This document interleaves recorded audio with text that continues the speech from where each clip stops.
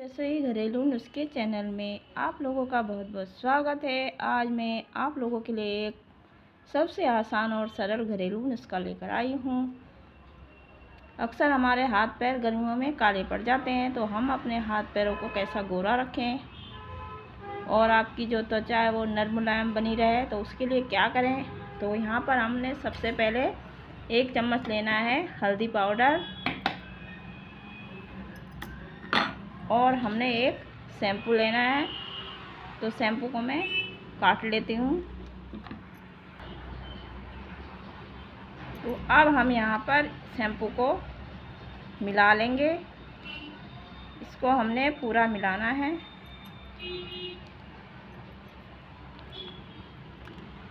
और इसको अच्छे से मिक्स कर लेंगे।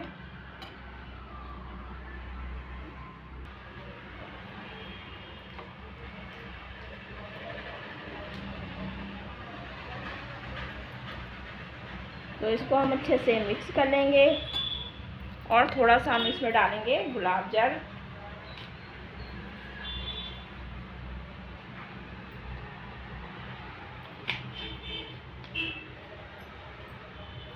अब हम यहाँ पर आधा टुकड़ा नींबू का लेंगे।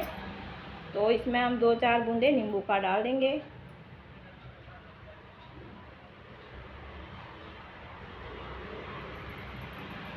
और इसको मैं अच्छे से मिक्स कर लूँगी।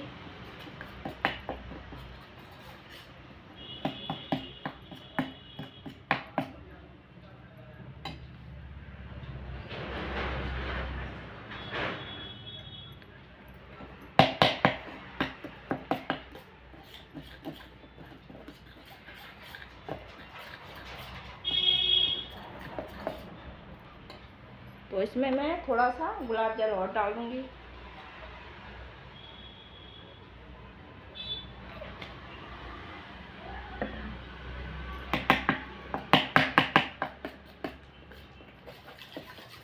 और इसे हम अच्छे से मिला लेंगे।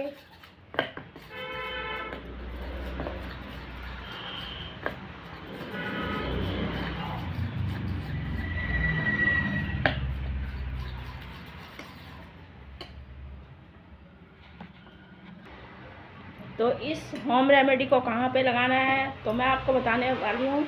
जैसे हमारे हाथ की कोहनी होती है, पैरों की कोहनी होती है तो ज़्यादा का, काले दिखते हैं कई बार तो आप उस पर लगाएँगे तो आपका एकदम से साफ़ हो जाएगा। अब मैं इसको लगा कर दिखाती हूँ।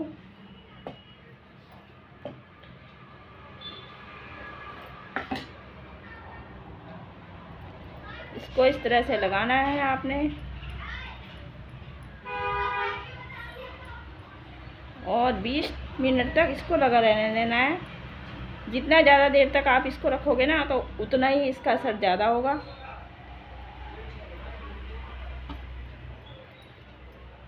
इसे रगड़ना बिल्कुल नहीं है आपने। आप पूरे हाथ पे भी लगा सकते हैं। मैं आपको इसी पर लगा कर दिखा रही हूँ।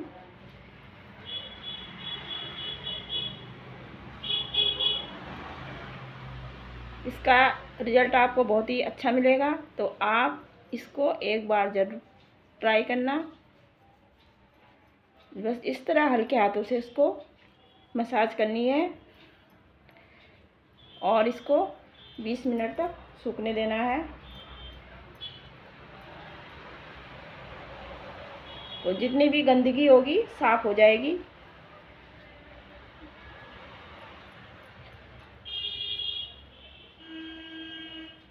और अलग प्रकार का ग्लो आएगा।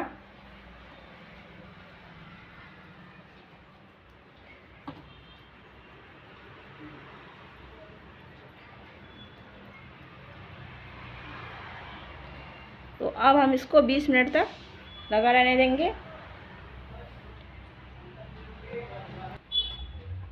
तो अब मैं आपको धोकर दिखाती हूँ। लगाते ही इसका असर शुरू हो गया है। तो देख सकते हैं कितने अच्छे से साफ़ हो चुका है। अगर ये वीडियो पसंद आए तो चैनल को लाइक, सब्सक्राइब ज़रूर करना।